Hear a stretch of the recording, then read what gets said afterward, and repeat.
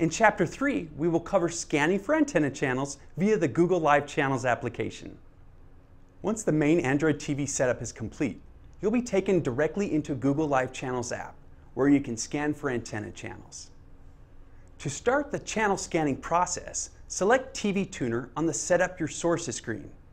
Next, allow live channels to access your Stream Plus location. This is encouraged as it will allow the Live Channels app to populate program guide information for the available channels in your area. On the TV Tuner setup screen, select Continue to start the tuning process. The Live Channels app will now start scanning for available over-the-air channels from your antenna. Once scanning is complete, the number of channels found will be displayed.